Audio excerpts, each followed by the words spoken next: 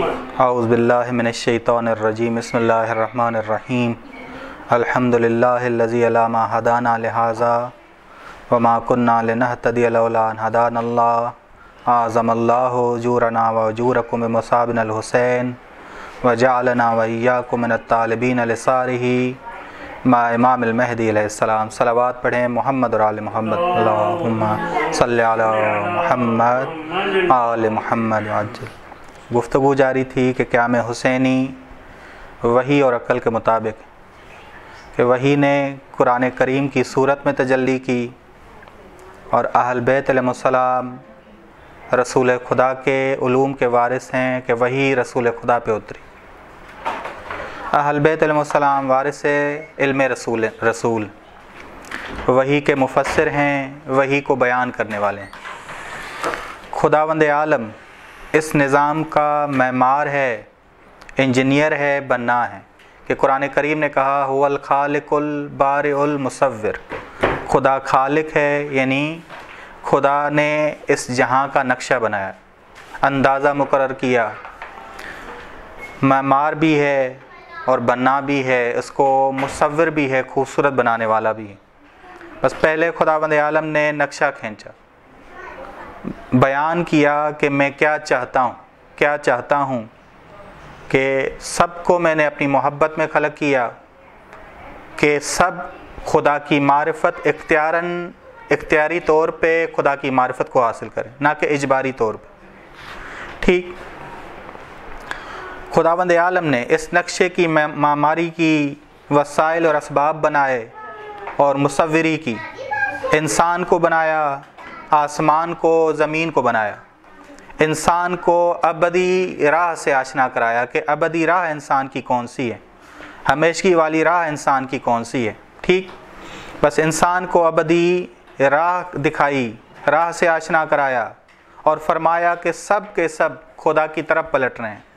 سب کے سب خدا کی طرف پلٹ رہے ہیں۔ بس ان انسانوں میں سارے انسان خلیفہ نہیں ہیں، لیکن انسانوں میں ایک میرا خلیفہ بھی ہے۔ میرا خلیفہ بھی ہے۔ خدا کے خلیفے سے مراد یہ نہیں ہے کہ خدا غائب ہے۔ خدا عاجز ہے، خدا ناتوان ہے، خدا زائل ہے۔ بلکہ خلیفۃ اللہ سے مراد ہے اسماء حسنہ کا مظہر۔ سب سے بڑی آیت الہی۔ تبھی آپ دیکھیں آئمہ فرماتے ہیں کہ ہم سے بڑی کوئی آیت نہیں اس جہاں میں۔ سب سے بڑی آیت الہی جس کے ذریعے ہم خدا بند عالم تک پہنچیں ٹھیک؟ بس خدا بند عالم نے ارشاد فرمایا، آشنا کروایا کہ ایک حق ہے، ایک باطل۔ ایک حق ہے، ایک باطل ہے۔ اور اس نظام کا محور حق ہے۔ اس نظام کا محور کیا ہے؟ حق ہے۔ جو چیز استوار ہے، مستحکم ہے فائدہ مند ہے، جو کسی کی راہ کو بند نہیں کرتی، نہ وہ خود راہ سے ہٹتی ہے، وہ حق ہے۔ اور وہ اہل بیت علیہ السلام وہ اہل بیت علیہ السلام ہے وہ چیز جو گمراہ ہو جائے، مقصد تک نہیں پہنچتی۔ دوسروں کو مقصد سے بھی روکتی۔ وہ باطل ہے، وہ تاغوت۔ وہ تاغوت ہے۔ بس قرآن کریم بیان کرتا ہے کہ یہ جہاں خلق ہی حق ہوا ہے۔ ما خلق السماوات والارض وما بینہما الا بالحق۔ ہم نے نہیں خلق کیا آسمانوں کو، زمینوں کو۔ اور جو ان کے درمیان ہے سب مگر ایک حق کے ساتھ، ایک ہدف کے ساتھ۔ یہاں قرآن کریم نے کہا، ما خلق السما والارض جو بھی ہم نے آسمان اور زمین پیدا کیا اور جو ان کے درمیان ہے یہ باطل پیدا نہیں کیا۔ اگر کوئی یہ سوچتا ہے کہ بے ہدف پیدا ہوئے، ہوا ہے، ذالک کون ہے یہ لوگ؟ ذالک ظن الذین کفروا۔ اگر کوئی سوچتا ہے کہ آسمان، زمین اور جو پورا نظام ہے باطل خلق ہوا، بے ہدف خلق ہوا تو یہ باطل سوچ ہے کافروں کی۔ کفار کی باطل سوچ۔ بس کافر لوگ خیال کرتے ہیں کہ یہ عالم باطل ہے۔ یہ عالم بے ہدف خلق ہوا۔ کافر یہ کہتا ہے۔ کافر یہ کہتا ہے کہ بس یہی زندگی ہے۔ یہی زندگی ہے۔ یہی عالم مادہ ہے۔ عالم طبیعت ہے۔ اصل یہی عالم ہے بس۔ موت کے بعد کوئی زندگی نہیں۔ موت کے بعد کوئی زندگی نہیں۔ انسان مرنے سے ختم ہو جاتا دین اسلام کہتا ہے کہ نہیں، انسان مرنے سے لکھا اللہ تک پہنچتا ہے، خدا کے قریب اور اور زیادہ ہو جاتا موت کو فوت کہنا بھی غلط ہے، موت کو وفات صحیح ہے کہ کیونکہ ہم مغرب پرس ہو گئے، اس وجہ سے فوت کہتے ہیں۔ اگر نہ موت یعنی فوت، منتقل، ایک عالم سے دوسرے عالم کی طرف منتقل ہونا۔ بس فوت لفظ غلط ہے۔ یعنی مادہ پرسی اتنی حاوی ہو گئی کہ ہم موت کو فوت کہنے لگے۔ فوت یعنی گم ہو جانا، ختم ہو جانا۔ یہ کافر کی باتیں ہیں۔ اگر اسی طرح ہو کہ انسان بے ہدف پیدا ہوا، بس یہ عالم طبیعت ہی ہے، موت کے بعد کوئی زندگی نہیں ہے، تو پھر ہر چیز باطل ہو جائے گی۔ ہر چیز بے ہدف ہو جائے گی۔ کہ قرآن کریم نے سوال اٹھایا ہے آیا سب الانسان کیا یہ انسان گمان کرتا ہے؟ ایسے ایسے ہی رہا کر دیا جائے گا۔ نہ اس کی کوئی باتوں کا حساب، نہ اس کے کوئی عمل کا حساب، نہ اس کی کوئی نگاہ کا حساب، نہ اس کی کوئی سوچ کا حساب، کوئی سو حساب نہیں ہے اس سب الانسان یترک صدا ایسے ہی اس کو رہا کر دیا جائے گا۔ بس یہ بس کافر انسان خیال کرتا ہے کہ عادل انسان اگر اس جہاں میں جی رہا ہے تو وہ ناشپتی درخت کی مانند ناشپتی درخت کی مانند ہے، خوشبو دیتا ہے، جب پھول ہوتے ہیں اس کے۔ جب مرتا ہے، ختم ہو جاتا۔ ظالم انسان کانٹوں کے درخت کی مانند ہے، مرتا ہے، ختم ہو جاتا۔ دونوں ہی ختم ہو جاتے ہیں۔ دونوں ہی نابود ہو جاتے ہیں۔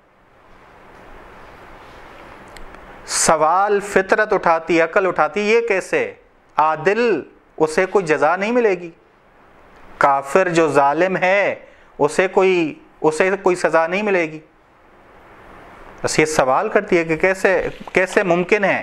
بس مرنے کے بعد وہ کہتے ہیں کہ کوئی حساب کتاب ہے ہی نہیں۔ انسان نے جو کیا، جو کہا، جہاں گیا، جو فکر کی، اس کی کوئی جزا، سزا نہیں ہے۔ بس خدا بند عالم نے کہا، کافر یہ گمان میں ہے اور یہ گمان بڑا برا ہے۔ یہ بڑا گم، برا گمان۔ تبھی آپ دیکھیں قرآن کریم نے بہت ہی پیاری تعبیرات استعمال کی ہیں۔ دیکھیں، قرآن کریم نے اس جہاں کو بنانے کے لیے کیا کہا؟ خلق تو بے میں نے دست قدرت سے اس جہاں کو پیدا کیا۔ بس جو بنانے والا ہے، وہ عالم ہے، وہ مدبر ہے، وہ قادر ہے۔ تو پھر بننے والی چیز کا بھی کیا ہوگا؟ ہدف ہوگا۔ ہدف ہوگا، ما اشہد ہم یہ جو تم اندازے غلط لگاتے ہو کہ جہاں بغیر ہدف کے پیدا ہوئی ہے تم آسمانوں اور زمین کی کھلکت میں موجود تو نہیں تھے؟ خدا سوال کر کیا تم موجود تھے کہ خالق نے تمہیں بتایا ہو کہ بے ہدف میں خلق کر رہا ہوں؟ جہاں بنانے میں تم موجود نہیں تھے، نہ شریک تھے، نہ مددگار تھے۔ اکیلا خدا تھا۔ میں نے خدا کا کوئی شریک نہیں۔ بات دوسری والی، ایک اور آیت نے وضاحت اور کر دی۔ لا یملکون مسکال ذرت فی السماوات ولا فی الارض۔ ان کا کوئی ذرہ برابر اختیار نہیں آسمان اور زمینوں کے بنانے میں۔ آسمان اور زمینوں کے بنانے میں۔ نہ نہ کوئی خدا کا شریک ہے آسمان اور زمین کے بنانے میں، نہ کوئی خدا کا ظہیر ہے۔ نہ شریک ہے، نہ ظہیر ہے۔ یعنی شریک کے جو خدا کے فعل میں شریک ہو، دو فعل انجام دے رہے ہوں۔ یا ظہیر کہ کر خدا رہا ہو، لیکن جو ہے مدد کرنے والا، وسائل دینے والا کون ہو؟ ظہیر ہو نہ خدا کا کوئی ظہیر ہے، نہ خدا کا کوئی شریک ہے۔ ظہیر یعنی, یعنی مدد کرنے والا پش پناہ ٹھیک، بس خدا کی قدرت کیا ہوئی؟ مستقل ہوئی۔ مستقل ہوئی۔ خدا کسی کا محتاج نہیں۔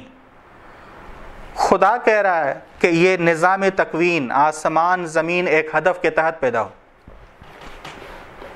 اس میں ساری آیات آپ کو خدا تک لے جائیں گی آسمان، زمین، پہاڑ، بادل، سورج، چاند، سب خدا تک لے جائیں۔ بس پہلا نظام کیا ہے؟ نظام تکوین۔ دوسرا نظام کیا ہے؟ نظام تشریح۔ شریعت۔ نماز واجب ہے، روزہ واجب ہے۔ خدا کہہ رہا ہے کہ نظام شریعت بھی، بس نظام تکوین ہدف کے ساتھ ہے۔ تو یہ اس میں ایک ہی ہدف ہے کہ ہر چیز تمہیں کہاں تک پہنچائے ہر چیز آیت ہے اور تمہیں خدا تک پہنچائے گی۔ اسی طرح نظام شریعت بھی تمہیں اسی ہدف کے تحت ملے۔ ہدف تمہاری نماز کا قربت اللہ ہو۔ ہر ہدف تمہارے روزے کا قربت اللہ ہو۔ ہر جگہ تو کس تک پہنچے، ہر حکم جو تو بجا لائے، کس تک کس تک پہنچنے کے لیے؟ بس ہر حکم آیت الہی ہو۔ جس طرح آسمان، زمین آیت الہی ہیں۔ اسی طرح نماز، روزہ بھی تمہارا آیت الہی ہو۔ خدا تک پہنچا ہے۔ بس نظام شریعت نے، نظام شریعت پہ تم عمل کرو گے تو نظام شریعت تمہیں بتائے گا کہ حق کیا ہے، باطل کیا ہے۔ حق کو باطل سے جدا کرے گا، سچ کو جھوٹ سے جدا کرے گا۔ ٹھیک، حلال کو حرام سے جدا کرے گا، نیک کو برے سے جدا کرے گا۔ یہ نظام شریعت بتائے گا۔ بس نظام شریعت نے راہ مستقیم بیان کی ہے کہ یہ یہ راہ مستقیم ہے۔ وہ ہے جو ہی آپ ہاتھ اٹھا کے بلند کر کے اللہ اکبر کہنے سے پہلے کیا کہتے ہیں؟ نماز واجب قربت اللہ پڑھتا ہوں۔ یہ ہدف، اس کے بعد اللہ اکبر کہتے ہیں۔ پھر پہلا جملہ ہی جو اللہ اکبر کہتے ہیں، وہ آپ کے ہدف کو بیان کر رہا ہوتا ہر جگہ ہدف کی تو بات ہو رہی۔ مجتہدین کا فتویٰ ہے کہ اگر کوئی عمل آپ انجام دیں، قربت اللہ کے بغیر ہو تو باطل ہے۔ قربت اللہ کے بغیر ہو تو باطل ہے۔ ٹھیک، بس نظام شریعت بتاتا ہے کہ جو بھی عمل قربت اللہ نہ ہو وہ باطل ہے۔ قربت اللہ نہ ہو وہ باطل ہے۔ قرآن نے کہا، ان نہذا سراتی مستقیمہ بے شک یہ راستہ میرا سیدھا ہے، پس اس کی پیروی کرو۔ اور سیدھے راستے کے علاوہ باقی راستوں کی پیروی نہ کرو۔ باطل راستے ہیں، ایک ہی ہو سکتا ہے۔ نظام تکوین میں ہدف ہے کہ خدا نے پیدا کیا ہر چیز آیت الہی ہے۔ خدا تک لے جانے والی۔ اسی طرح سرات مستقیم بھی کیا ہو سکتا ہے؟ ایک ہی ہو سکتا۔ جو تمہیں مختلف راستے، مختلف سرات نہیں ہو سکتے۔ بس نظام شریعت میں خدا نے انسان کو با اختیار رکھا۔ با اختیار رکھا۔ اگر انسان مجبور ہوتا تو ترقی کرتا۔ ترقی نہیں کرتا، ترقی نہ ہوتی۔ کمال یہ ہے کہ انسان اپنے ارادے سے، اپنے اختیار سے راہ کو انتخاب کرے۔ راہ کو انتخاب کرے۔ راہ انتخاب کرنے میں خدا نے اسے مجبور نہیں کیا۔ لا اکراہ فی الدین۔ لا اکراہ فی الدین یعنی راہ کے انتخاب کرنے میں تو مجبور نہیں ہے۔ بس انسان اپنے اختیار سے کمال کو چنے۔ اپنے اختیار سے کمال کو چنے۔ اگر وہ مجبور ہوتا تو کوئی کمال نہ ہوتا۔ مجبور ہو کے کوئی کام انجام دے، یہ کمال نہیں۔ مجبور ہو کر اگر برائی کرے تو وہ قصوروار ہوگا یا نہیں ہوگا؟ قصوروار نہیں کہلائے گا۔ مجبوراً نہ سزا بنتی ہے نہ جزا بنتی۔ نہ سزا بنتی ہے نہ جزا بنتی۔ اختیاراً سزا اور جزا بنتی ہے، جنت اور جہنم بنتی۔ ٹھیک؟ بس قرآن نے کہا کل الحق من رب کہہ دو، حق تیرے رب کی جانب سے۔ فمن شاہ بس جو چاہے وہ ایمان لے آئے، جو چاہے وہ کفر اختیار کرے۔ کفر اختیار کرے۔ یہاں ہدئی نہ نجدین ہم نے دو راستے اس کی، اس کو ہدایت کر دیے ہیں۔ یا انا ہدئی نہ ہو ہم نے راستہ دکھا دیا اسے۔ اب وہ شکر گزار بنے یا ناشکرہ بنے، اس کی اپنی مرضی۔ اختیار اس کا ہے۔ بس ہم شاکر ہونے ہاں یہ ہے کہ خدا نے شاکر ہونے کے نتائج ذکر کیے ہیں۔ کہ شاکر ہونے کے نتائج کیا ہیں؟ کافر ہونے کے نتائج کیا ہیں؟ شاکر بنانے کے لیے دوست کون سے کام آئیں گے؟ محمد اور علی محمد، یہ بتایا خدا نے۔ اور کافر بننے کے لیے دشمن کون سے ہیں تمہارے؟ وہ بھی بتایا ان شیطان علیکم ادوم مبین شیطان تمہارا واضح دشمن ہے۔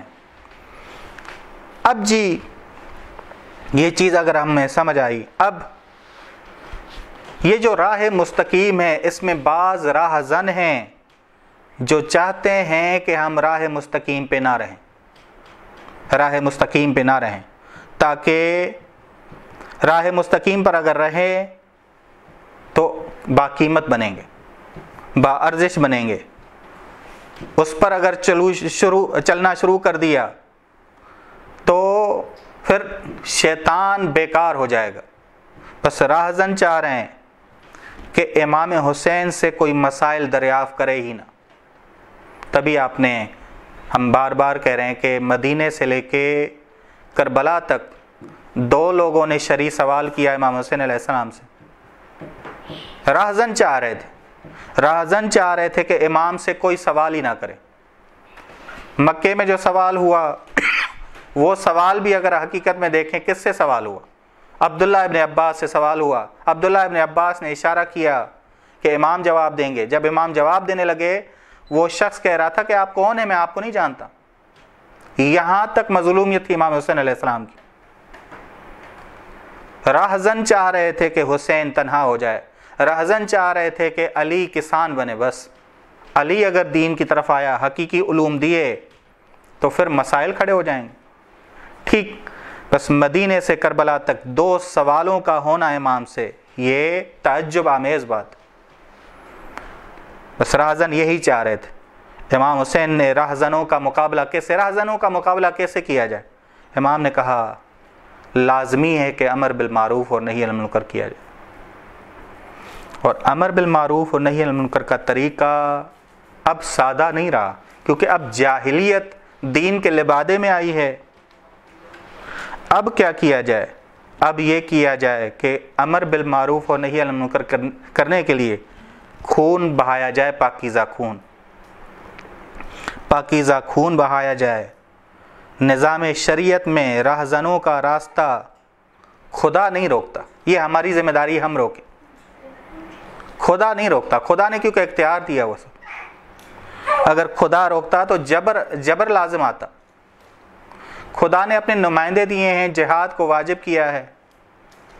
جب خدا نے کیا ہے تو خدا نہیں، تبھی قرآن کریم بڑی ہی پیاری آیت ذکر کر رہا ہے۔ ولو یشا اللہ ہو اگر خدا چاہتا اجبارن جبرن تو راہزنوں کا، یزید کا، معاویہ کا خدا راستہ روکتا، انتقام لیتا، لیکن خدا نہیں لیتا۔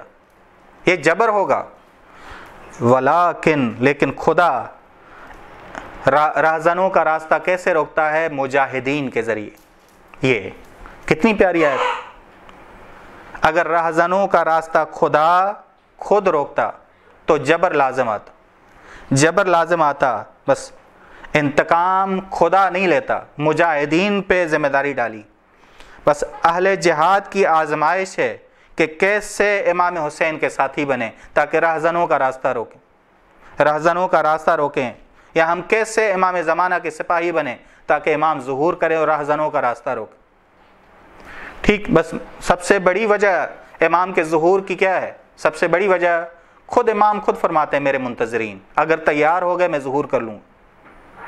بس وہ اہل جہاد لوگ تیار ہو جائیں تو معاملہ حل ہے۔ ٹھیک، بس قیامت میں خدا انتقام لے گا۔ خدا قیامت میں انتقام لے گا۔ ٹھیک۔ انا من المجرمین منتقم ہاں اگر مومنین راہ خدا میں آئے جہاد کرنے آئے تو ان کو مدد، گے بھی مدد فراہم کرتا ہے خدا۔ لیکن انتقام لینے والے کون ہو وہ آل جہاد، وہ مومنین۔ ٹھیک۔ تبھی قرآن کریم نے جہاد کو واجب ہونے کا، کی وجہ بتائی۔ جہاد کو واجب، جہاد کے واجب ہونے کی وجہ کیا ہے؟ لیو حکل حق ویبتل الباطل۔ خدا نے جہاد اس لیے واجب کیا تاکہ حق کو حق کو ثابت کرے اور باطل کو نابود کر دے۔ بس حق ثابت ہونا اور باطل نابود ہونا کس کے ذریعے ہے؟ جہاد کے ذریعے، نہ خدا بند عالم اجبارن کر دے۔ بس یہ چیز ہمیں سمجھ آئی کہ اہل جہاد پر یہ خدا بند عالم نے ذمہ داری ڈالی۔ تبھی امام حسین علیہ السلام نے یہ جملے کہے۔ بس یہ جملے اب امام کے واضح طور پہ سمجھ آتے ہیں۔ اللہ ترونا کیا تم نہیں دیکھتے کہ حق پہ عمل نہیں ہو رہا؟ باطل سے روکا نہیں جا رہا تاکہ مومن شوق سے لکھا اللہ کی جانب آئے۔ بس مجھے ساتھی چاہیے۔ ہم نے جہاد کرنا ہے۔ بس امام کے یہ جملے بتاتے ہیں کہ امام نے ذمہ داری لی ہوئی تھی کہ ہم نے جہاد کرنا ہے۔ یہ خدا کی طرف سے لازم ہے مجاہدین پر۔ خدا نے کہا کہ اگر ہم لیتے، اجبارن تو لے لیتے۔ لیکن خدا نے اجبار رکھا ہی نہیں ہے، لا اکراہ فی الدین۔ بس راہزنوں کا مقابلہ کون کریں مجاہدین؟ کربلا، حسینی لشکر، کیا میں حسینی یہ نہیں کیا؟ رہزنوں کا مقابلہ کرنے والا قیام قیام حسینی؟ یہ بات۔ بس امام حسین، شب عاشورہ، سب شہداء سے کہا امام نے۔ کہ مبادہ کوئی یہ خیال کرے سب شہداء سے یہ جملے۔ مبادہ کو یہ خیال کرے کہ تم زندہ بچ جاؤ۔ کوئی یہ خیال نہ کرے۔ کوئی زندہ نہیں بچے گا۔ مبادہ کوئی یہ خیال کرے کہ مال غنیمت حاصل کرو گے۔ کوئی مال غنیمت نہیں۔ مبادہ یہ خیال کرو کہ تم اپنے وطنوں کو، جنگ کے بعد اپنے وطنوں کو چلے جاؤ گے۔ واضح بات کر لی تھی امام نے۔ بس امام نے کہا تھا کہ یہاں مادہ پرستی والی کوئی بات ہی نہیں۔ یہاں مادہ پرستی والی بات ہی نہیں، بس یہ معصوم بول رہے ہیں، معصوم بول رہے ہیں۔ کیا کہا معصوم نے؟ ہم سب قتل کیے جائیں گے۔ ہم سب قتل کیے جائیں گے۔ بس معصوم بول رہا ہے یعنی کون بول رہا ہے؟ وہی بول رہی۔ معصوم بول رہا ہے یعنی وہی بول رہی ہے۔ اور لبیک کہنے والے صحابہ ہیں، بنو ہاشم ہیں۔ یعنی کیا؟ عقلیں اس کو تسلیم کر رہی موضوع ہی ہمارا یہ ہے کہ کربلا وہی وہی اور عقل کے مطابق ہے۔ قیام حسینی وہی اور عقل کے مطابق۔ ٹھیک۔ سب سب نے کہا، سب عاقلوں نے کہا، سب عاشقان خدا نے کہا، یہ جملے تھے۔ آمنا۔ امام، آپ پر ایمان لائیں۔ آپ کی ہر بات پہ ہم ایمان لیں سلمنا۔ ہم سر تسلیم کم ہیں۔ وسرنا معکم و نصیر معکم۔ ہمارا ظاہر بھی آپ کے ساتھ ہے، ہمارا باطن بھی آپ کے ساتھ۔ نہ ہمیں ظاہر میں تھکا ہوا پائیں گے، ایسا کبھی نہیں پائیں گے کہ ہم آپ کے بغیر ایک گھونٹ پانی پی لیں۔ ایسا ہی کیا۔ کہ جناب عباس مشکیزہ بھر رہے ہیں، یہ سوچ تک نہیں آئی کہ پانی خود بھی پی لیں۔ ایک گھونٹ پانی اپنا بھی پی لیں۔ پوری تیاری کے ساتھ آمنا، ہم آپ پہ ایمان لائے ہیں سر تسلیم کھم ہوئے ہیں۔ ہمارا ظاہر بھی آپ کے ساتھ ہے، ہمارا باطن بھی آپ کے ساتھ۔ یہ کتنے اعلیٰ جملے ہیں۔ کربلا ایک معجزہ ہے واقع سکھاتی کیا ہے کربلا؟ بس انہوں نے کہا، امام، ہم آپ کے مانوی فرزند ہونے آئے مانوی فرزند ہونے آئے ہمیں اپنے بچے کے عنوان سے قبول کریں ماں اگرچہ ہم سید نہیں ہیں، اگرچہ ہم سید نہیں ہیں، لیکن متی کامل بن کر آپ کے مانوی فرزند ہونا چاہتے ہیں۔ مانوی فرزند ہونا چاہتے ہیں۔ آپ اگر زیارات کے لیے جاتے ہیں اور ان حرموں میں علماء کی قبروں کی زیارت کریں، تو علماء کی قبروں پہ یہ جملے لکھے ہوئے ہیں، السلام علیکہ یبن رسول اللہ، السلام علیکہ یبن علی المرتضی السلام علیکہ یبن فاطمت الزہرہ وہ سید نہیں ہیں گیر سید ہیں۔ گیر سید علماء کی قبروں پہ یہ جملے لکھے ہوئے ہیں۔ کیا کام کیا کہ وہ گیر سید اولاد امام بن گئے؟ وہ کام جو کربلائیوں نے کیا، وہ کربلائیوں نے جو کام کیا، وہ پاکیزہ اولاد کرتی۔ وہ پاکیزہ اولاد کرتی ہے۔ پاکیزہ خون بہایا، نہ کوئی شرط رکھی، نہ کوئی شرائط رکھی۔ کوئی شرط و شرائط نہیں رکھی امام سے کوئی شرط و شرائط کہ ہمیں اتنا مال غنیمت ملے گا، ہمارے فیملی کو اتنا مال ملے گا، کوئی نہیں۔ بہت ہی خالص ہو کے آئے۔ تبھی زینب قبرا سلام اللہ علیہ نے ابن زیاد کے دربار میں یہ جملے ارشاد فرمائے۔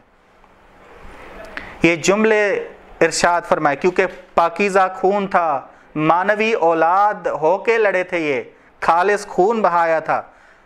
جب شہداء اپنا خالص خون بہائیں تو اس کی رنگ، اس کی تاثیر آتی یا نہیں آتی؟ فوراً تاثیر کیا تھی؟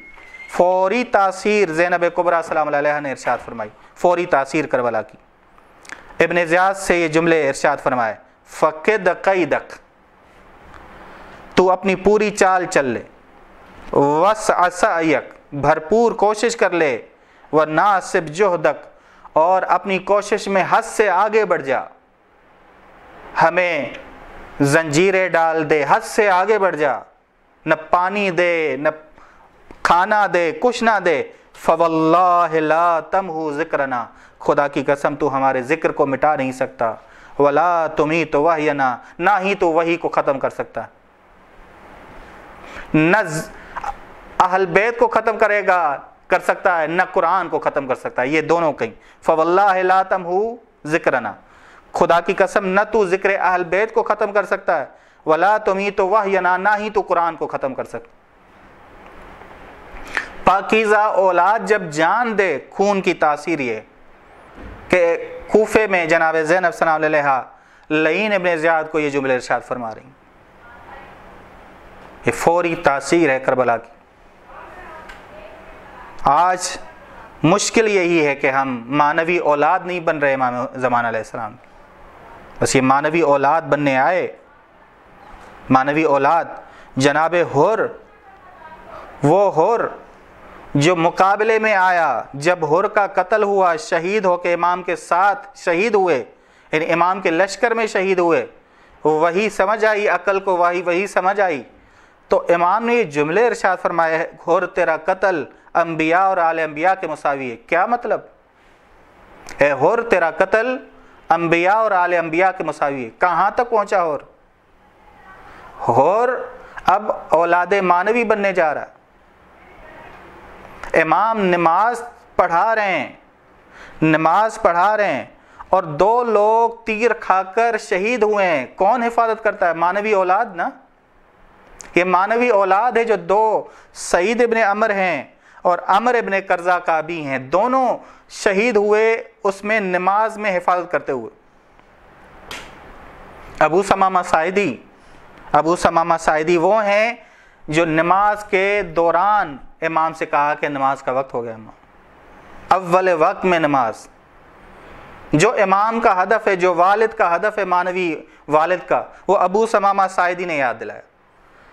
نماز پڑھنے کے لیے تیر سعید ابن سعید ابن عبداللہ نے اور عمر ابن قرضہ کابی نے کھائے۔ اس ساری سارا جو صحابہ یہاں بنو ہاشم کر رہے تھے، یہ تو اولاد مانوی بن کے کر رہے تھے۔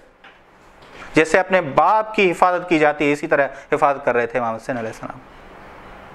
بس یہ تھا ان کی معرفت کا راز۔ مجاہد امام معصوم کی اولاد مانوی بن چکے تھے۔ تبھی کربلا کا شعار ہی ہے۔ شعار کا دوسرا حصہ ہی ہے کہ خدا ہمیں اور آپ کو خون امام حسین کا طالب بنائے۔ اور جوڑے کس کے ساتھ امام مہدی علیہ السلام کے ساتھ؟ بس اولاد مانوی بن جائیں گے تو جڑیں گے کہاں؟ بس مناسبت جناب علی اسکر کے حوالے سے کہ جناب علی اسکر کے لیے مخصوص ہے پہلا جمعہ محرم کا۔ جب امام کے اصحاب اور بنو ہاشم کے جوان کم ہوئے تو امام نے حل من ناصر ینصرنا کی صدا دی۔ کہ ہے کوئی میرا ناصر؟ خیموں سے خبر آئی کہ بچہ تڑپ رہا ہے جو نصرت کرنا چاہ رہا ہے، وہ علی اسکر ہے اور علی اسکر کو میدان میں لائے ہیں۔ نئے شہید کو میدان میں لائے ہیں تاکہ امام قربانی دے کے اعلیٰ منازل تک پہنچے۔ اور ظالموں نے سو سے شعبہ تیر لگایا، تین شعبوں والا تیر لگایا۔ اور اس کے بعد جو جملے ہیں، وہ اعلیٰ ترین جملے، آپ پوری کربلا میں نگاہ کریں، یہ جملے آپ کو امام جو امام حسین نے جناب علی اصغر کی شہادت کے موقع پہ فرمائے۔ یہ اعلیٰ ترین جملے کہ خون علیہ ما نزل ابی انہو بعین اللہ، خدا بڑی مصیبت آئی ہے۔ مجھے اگر تیری نگاہ مجھ پہ آ جائے یہ آسان ہو جائے ہاؤن خدا آسان کر دے علیہ مجھ پر یہ مصیبت اگر تیری نگاہ کرم، نگاہ رحمت مجھ پہ آ جائے۔ اتنے عاشق خدا ہیں امام امام فرما رہے ہیں کہ خدا علی اصغر کے ذریعے آزمایا ہے، میں آزمائش پہ پورا اتروں گا۔ بیٹی سکینہ کے ذریعے آزمائے گا، میں پورا اتروں گا، خدا بندے۔ یہ سب سے بڑی مصیبت ہے کہ ایک شیر خوار بچہ میدان میں لایا جائے کہ پانی دو سے یہ پیاسا ہے۔ اس سے سے شعبہ تیر مارا جائے اور اس موقع پہ خدا میں کمزور نہیں ہوں گا۔ یہ یہاں کمزوری آ سکتی تھی، لیکن کمزور نہیں ہوئے اس امام حسین علیہ السلام۔ یہ سب سے بڑا کمال امام حسین علیہ السلام۔ کیا فرمایا؟ ہاؤن علیہ خدا آسان کر دے۔ جو مصیبت عظیم مجھ پر آئی ہے، کس کس طرح آسان ہو سکتی ہے؟ ان نحو بعین اللہ۔ خدا تیری نگاہ کرم مجھ پہ آ جائے گا۔ تیری خاص نگاہ کرم مجھ پہ آ جائے، یہ مصیبت بھی مجھ پہ آسان۔ ہر چیز سے گزرنے کے لیے تیار۔ کربلا یعنی عاشقان خدا، اور انہوں نے کر کے دکھایا انہوں نے کر کے دکھایا پورے پورے اترنا جانتے تھے۔ امام بھی، بنو ہاشم بھی، اور اصحاب بھی۔ بس خدا بند عالم ہمیں یہ توفیق دے کہ جو انہوں نے کہا، آمنا، سلمنا و سرنا ماک و نصیر نصیر و ماک وہ ہم بھی کہیں۔ امام زمانہ کو صلی اللہ علیہ محمد، اہل بیت طیبین الطاہرین۔